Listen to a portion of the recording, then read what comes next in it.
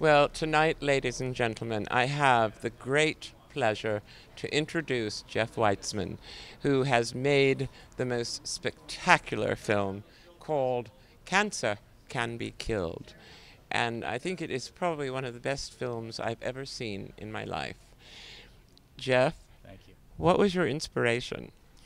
Yeah, the inspiration for making the film was that my wife got cancer. She was given a horrible prognosis here in the States, told she would have to lose a bladder.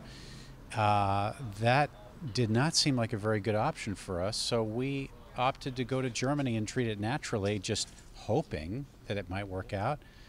And lo and behold, it did work out. And 30 days later, her cancer was completely gone. She didn't lose her organ. And at that point, I figured we better make a film about this, you know, so that people can find out about it. Right, and this this film is something everyone should see and many many times because it is so informative and it's such a thrill to have you here at the Glendale International Film Festival. So everybody come and watch Jeff's film because it is amazing.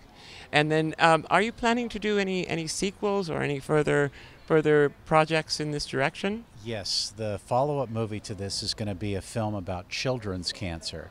Because right now, people don't know this, but children, after they're, they're in remission from cancer, they're forced into two to four years of chemotherapy.